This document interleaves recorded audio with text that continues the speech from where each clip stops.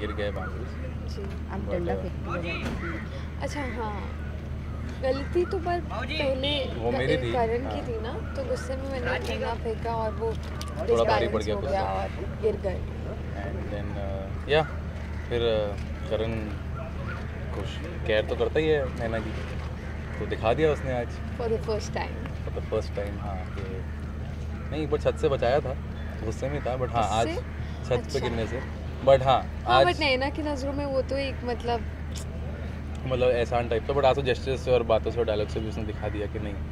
करण कैस phone है ना?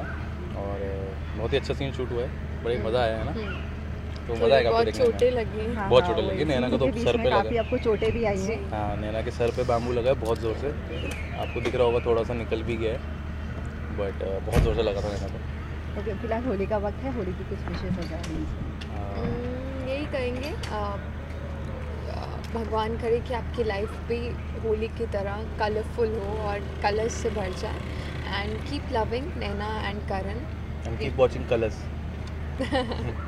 और खूब सारा खाना खाइए है ना? Happy Holi. Happy Holi. Thank you welcome